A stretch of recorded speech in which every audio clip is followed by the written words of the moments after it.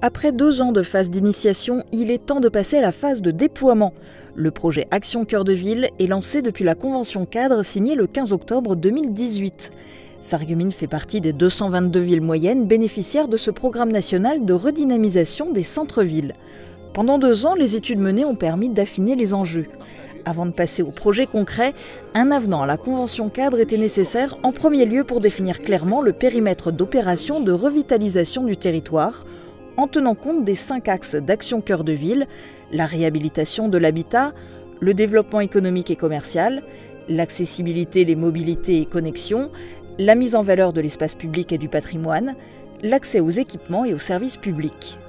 Le périmètre a été délimité selon différents critères, les ambitions municipales et communautaires autour de plusieurs projets importants, les résultats des études ainsi que les retours des rencontres citoyennes et débats publics. Le périmètre qui en découle va du port de Steinbach au pont ferroviaire qui traverse la Sarre et s'étend des deux côtés de la rivière, des tours des douanes situées route de Nancy à l'ancienne César à côté du collège Fulrad. Côté projet concret, ils sont nombreux à être listés, mais tous ne sont pas détaillés. Le prochain concernera l'entrée de ville par la route de Nancy avec la démolition des tours des douanes qui doit commencer encore ce mois-ci. Le projet à l'horizon le plus lointain est l'aménagement du site des anciennes faïenceries dont la destination finale n'est pas encore définie. A noter que dans ce document, le projet de casino annoncé par l'ancien maire Céleste Lette n'est pas mentionné.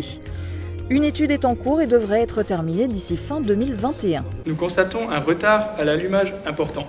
Nous notons l'absence de certains projets importants comme le match. Sur le, projet des, faïenceries, donc là c'est euh, le grand flou parce que euh, on a vu dans la presse fleurir des, casinos qui n'entrent pas dans le cadre aujourd'hui de la loi.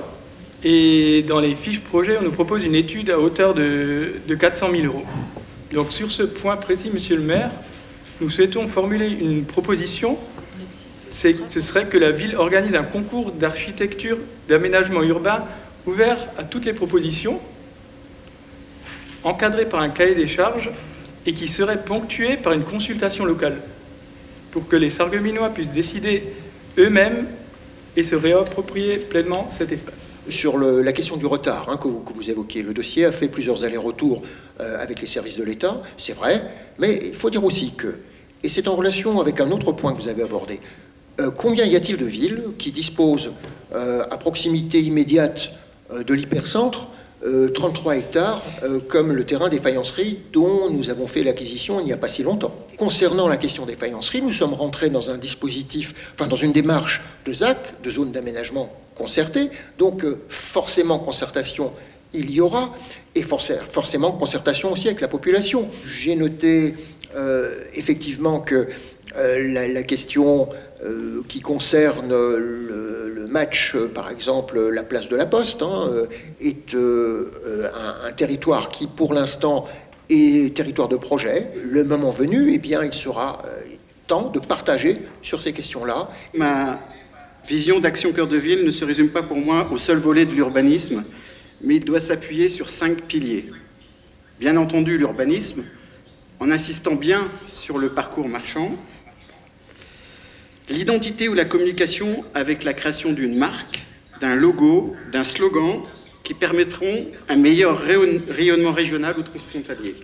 Le commerce 4.0 permettant d'aider les commerçants euh, à franchir le pas du numérique. Il faut de la vie en ville. Ce qui est important, c'est qu'il y ait du flux. Il y a une cohérence d'ensemble euh, qui nous semble assez aboutie, mais notamment sur les éléments d'urbanisme. Il y a des éléments que nous pensons qui sont vraiment à creuser, notamment sur la question des mobilités des mobilités à l'intérieur hein, de, des espaces. Alors il y a des choses qui sont évoquées, qui, on voit que c'est un début de travail, mais euh, sur les mobilités, la question de l'emploi, c'est aussi une question, quand on dit action cœur de ville, on n'est pas que dans le, truc, la question de l'emploi des services publics nous semble aussi une question. L'emploi, je, pense que c'est au centre de toutes les préoccupations, pas seulement d'action cœur de ville. Ce point a été voté à l'unanimité par les conseillers municipaux.